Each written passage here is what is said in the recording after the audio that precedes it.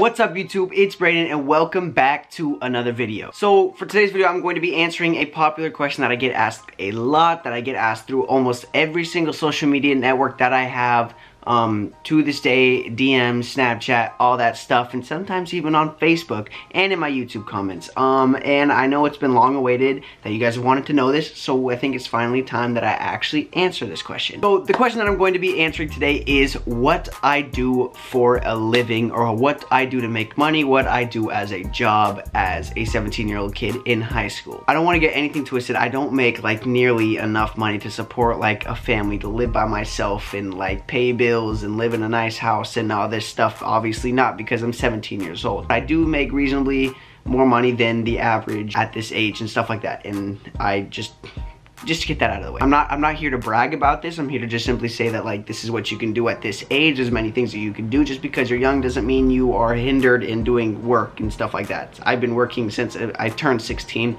I've had my first job at McDonald's. Um, this is actually the fourth job that I've been I've worked at. It's easy to get work done, easy to get a job at this age. Um, just got to go out and find the work and do it. So to just merely answer the question um, of what I do for a living uh, and then I'll go through the story on how I came to that and where I came from um, and how my whole work story started. So what I do, like at a base level, is I freelance social media for a tech company in Seattle. I'm considered their marketing, a marketing employee. I can sometimes considered a marketing manager because there's not really marketing individuals at this corporation.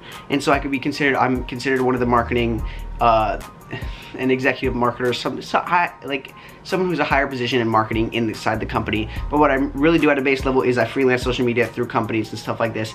And so what that means is when you're freelancing, people hire you to do certain things. And so when I freelance social media, that means companies come to me, I reach out to companies, they hire me to run their social media accounts. So basically what I do is I run their Twitter, their Instagram, um, a lot of their websites, Facebook, and then every any other digital outreach to to whatever it is on the web that stuff like that. And I, I manage that. I run that. Uh, people come through me if they want stuff out there uh, and stuff like that. Pretty straightforward pretty like easy job. It might sound like a lot but it's pretty easy. When you're doing this it's not just running a pro, like a, your personal social media account. We're just like it's like to just promote what you're doing or anything like that you do it for your lifestyle. It's uh, trying to attract viewers and and bring an audience to your your company companies gain attraction, gain awareness, and then maybe bring possible possible new customers in, possible uh, new revenue, which is really important, the whole point of the business. Um, and yeah, so that's what I do and it's really simple. It it starts, it takes a lot of learning, it takes a lot of learning to learn what it is inside and out of the social media platforms and how to do this, how to do that, and how to do it effectively.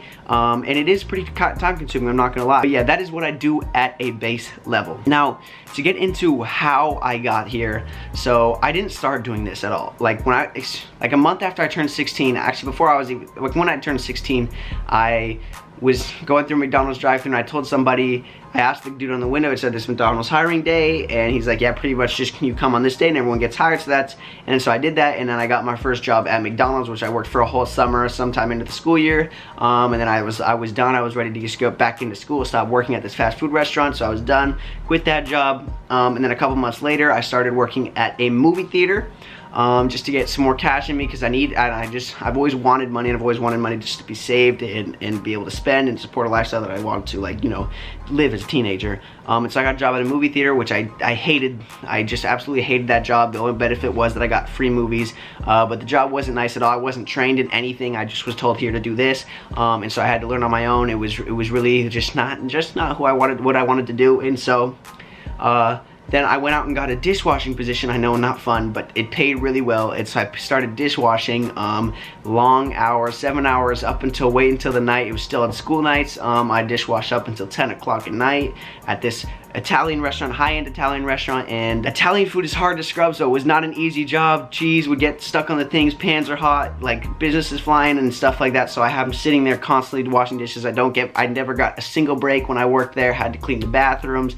Really terrible job, but got some good money out of it, so that was the benefit out of that. And then going into summer, I really, I wanted to get into an internship, and um, I was, uh, just trying to think about what I was going to do. My brother had an intern at my brother's, my dad's office, but I didn't want to just be like a coffee run intern um, for the company he, my dad owns. I wanted to be more of like someone who was like impactful into the company. And so I was like trying to think of what I could do for the company. Um, and then one day me and my dad were going to head out to LA to go tour schools. And we were in the airport and I was looking like, how I was watching these things on TechCrunch, like how social media is a big impact for companies. And I was like, oh my gosh, I know no one is now running my dad, this company that I was gonna intern for, my dad's company, their social media. Why can't I do that? So I told my dad, we put, I put this whole business proposal together, what I'd be doing, um, and then I got hired as an intern at that office.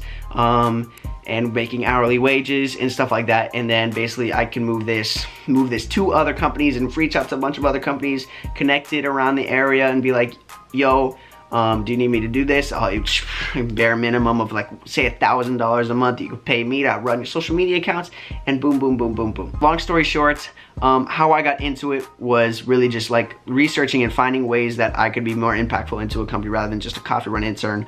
Um, and I found something useful of social media, which is really hot right now, which is really important in businesses. I learned a lot about it. I studied. Um, I've been on social media by myself, but I never really knew how to run a professional account. I always knew how to run a personal account, but I did my research on how to like when is the popular times to upload, how to gain attraction, how to gain followers, how to get rid of your ghost followers and stuff like that. And it turned out to be really successful over the summer. I would work five, four to five days a week, 12 hour days sometimes. Um, as an intern, I'm not working a solid like 12 hours in a row. I'm like taking breaks here and there. And I'm also doing more than just social media.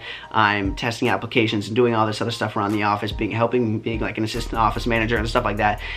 Um, but now, as I'm in school, I simply just manage the, the content output, outreach, and, and social media of the company and companies.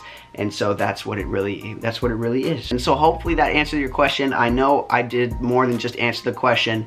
Um, but I wanted to tell you guys like how I got up there and that I know to let you guys know that I didn't start there um, and that's just this is how what I do so I can support the lifestyle I want to live as a teenager um, and you know, no, YouTube is not my job at all. I don't make nearly enough money to support a lifestyle that I want to live um, off, off, of YouTube. Nowhere, I still don't make nowhere near money that I want to make.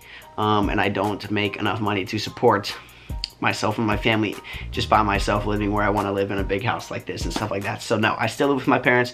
I still do all that stuff. I have a job. Um, it just happens to be a different job than just working at like a fast food restaurant. But I've done that, been there, done that. I've, this is my fourth job, okay? i have gotten a little bit of experience here and there, and I wouldn't reject, if I'm in college and I'm not doing this, I wouldn't reject a job like that. So yeah, that is what I do for a living and do as a job as a 17-year-old kid. So yeah, guys, that is all I have for today's video, guys. Hopefully you guys did enjoy and hopefully I did answer your guys' question. If you guys did, please smash that thumbs up button. If we could reach 20 likes on this video, that would be simply amazing. And it let me, lets me know that you guys want to keep watching my videos and you like videos like this and like me answering your guys' questions questions or just talking to a camera. And yeah, make sure to follow me on all my social media links, Snapchat, Twitter, and Instagram. Those all be down in the description box as always. Make sure to hit that subscribe button down below and that little bell by the subscribe button so you guys can be notified when I upload because I am uploading pretty frequently, I would say, videos, um, at least two to three videos a week, which is nice. Um, and yeah, love you guys so much and I'll see you guys next time with another new video. Peace out and munchies.